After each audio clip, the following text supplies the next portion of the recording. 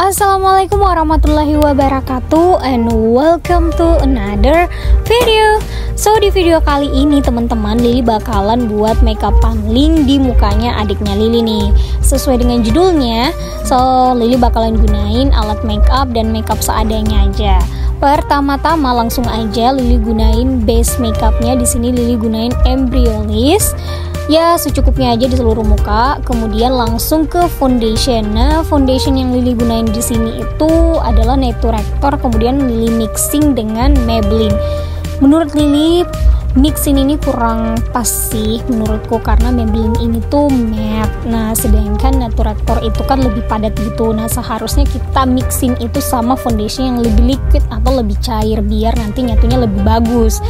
Bisa sih kalian gunain yang Maybelline ini tapi kalian gunain teknik uh, membakar jadi dibakar biar lebih cair gitu loh hasilnya nah Lili gunain brush untuk meratakan kemudian beauty blender untuk lebih meratakan ke seluruh bagian kayak di bagian hidung, bawah mata. Setelah selesai jangan lupa untuk ditap-tap ke seluruh bagian wajah biar foundationnya tuh meresap sempurna.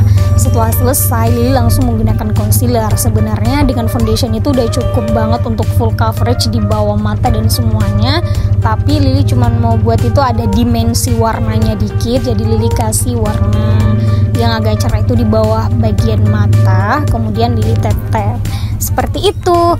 Dan tahap selanjutnya aku langsung ke wajahnya adik aku ini dengan menggunakan produk dari Masaya Kosmetik di sini tuh produknya cushion tapi 3 in 1 kalian bisa dapat kontur dan juga highlighter untuk warna konturnya sendiri menurutku bagus banget karena nggak terlalu gelap dan nggak terlalu terang juga. Jadi pas gitu loh buat undertone apa pun juga menurutku bagus.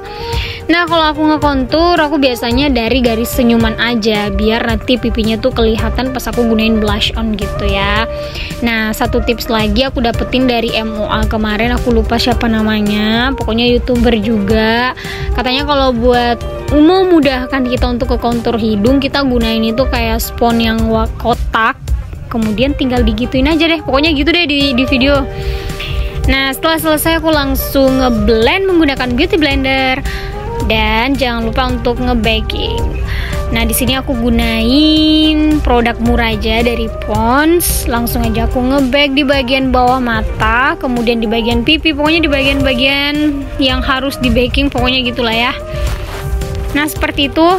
Lili nggak lama-lama pokoknya gitulah. Pokoknya sebanyak-banyaknya mungkin. Biar foundationnya nggak set untuk di bagian run ini aku ikutin yang aku kontur tadi biar konturnya itu lebih kayak terdefinisi. Setelah kontur aku juga sambil nunggu bakingannya selesai aku langsung alis. Alis yang aku gunain di sini tuh adalah dari produknya Viva semua orang udah pada tahu. Pokoknya itu dan aku gunain ini kayak brown warna brown yang dark brown gitu. Dan ya kalian bisa lihat di video cara aku ngalis aku selalu bikin kayak titik titik buat ngemudahin aku buat bentukan alisnya. Setelah selesai aku langsung buat bingkainya. Kemudian langsung aku isi. Udah deh gitu aja dan oh iya kalau kalian lihat oh, ini alisnya nggak ke atas emang aku suka banget buat alis itu di atas dari alisnya uh, yang aku make up. Karena aku pengen kalau tempat eyeshadownya itu lebih banyak dan dia tuh ada kayak bagian yang benar-benar memisahkan antara eyeshadow dan juga alisnya So ini udah kayak ulut bulu ya kan? Udah gede banget kayak gitu. Jangan khawatir teman-teman. Kita punya concealer. Buat aku yang pemula dengan di make up menurut aku buat alis tebal kayak gini tuh nggak masalah. Yang penting kalian punya concealer yang bisa menutupi semuanya. Toh nanti ujung-ujungnya juga bakalan keren hasilnya. Oh iya btw ini adik aku udah udah ngantuk banget jadi dia udah mau tidur tapi aku paksain ya kan? Ya nggak apa-apa. Emang juga aku hampir gak fokus buat alisnya. Padahal itu adalah salah satu yang bisa buat makeup kalian itu cetar but that's okay. Jadi aku ngerjain makeupnya sambil dia tidur.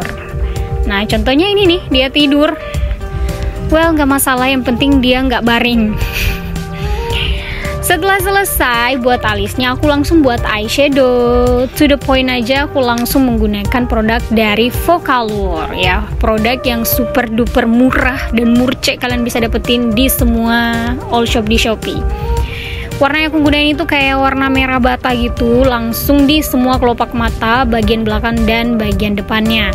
Lili selalu ngeblend, pokoknya sampai kayak bener-bener halus biar rapi.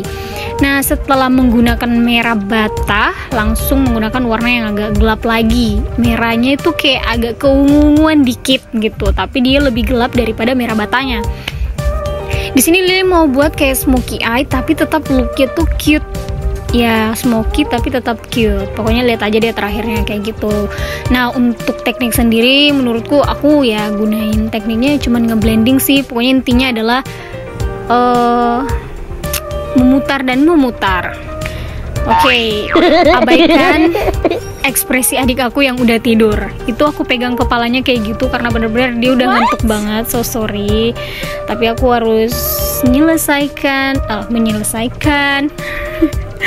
Menyelesaikan make upnya ya ampun sampai terbata-bata oke di sini aku mau buat cut crease jadi crease-nya gampang aja aku langsung ngikutin tapi agak di atas dari kelopak matanya biar matanya tuh kelihatan gede dikit lah ya setelah selesai aku selalu gunain kayak eyeliner putih gitu biar matanya lebih segar kebetulan karena adik aku ini lagi nggak seger banget buat di makeup ya nggak sih Oke, okay, eyelinernya aku bikin eyeliner yang sedikit wing, bukan sedikit sih, emang nge-wing besar banget wingnya nanti ini biar matanya itu seakan-akan itu kayak uh, bagus banget gitu loh. Ya gitulah. Oke, okay, the next step langsung aja pasang bulu mata cetar ala Khadijah ya, walaupun nggak sama-sama, nggak mirip, tapi ya setidaknya ya udah mirip Barbie lah ya. Lanjut kita gunain bedak padat. Di sini aku gunain dari makeover yang two way cake. Aku nggak tahu ini uh, honey kayaknya kalau nggak salah. Jadi biar dia nggak terlalu putih-putih banget wajahnya. Jadi teman-teman ini tuh nggak seputih kalian lihat di ini ya di video. Ini tuh kuning bagus pokoknya. Di sini aku gunain juga produk dari Vocaloid untuk highlighter dan juga blush onnya. Ini super cute banget isi blush onnya aku suka. Dan oh ya, thank you buat Kakak Khadijah lagi buat tipsnya. Di sini aku gunain highlighter di bagian apa sih ini pas di bagian pipinya gitu biar nanti di video atau di foto tuh super cute ya kira-kira beginilah ya hasil makeupnya selanjut aja kita ke bagian lipstick. Jut aku langsung gunain lipstick ini lipstick dari Mas Mahamasumi ya pokoknya itulah ha ha Masumi Hanasui guys. Ya Hanasui. Itu murah 15.000 doang. Kemudian di bagian dalamnya ceritanya nih aku tuh mau ngombre. Tapi adik aku itu terlalu kayak gimana ya. Pas aku gunain bagian dalamnya itu merah malah ditap-tap sama dia. Menjadilah semuanya merah setelah menggunakan lip gloss, aku langsung ngeset dan oke, okay, ulala udah jadi. Selamat menikmati everyone.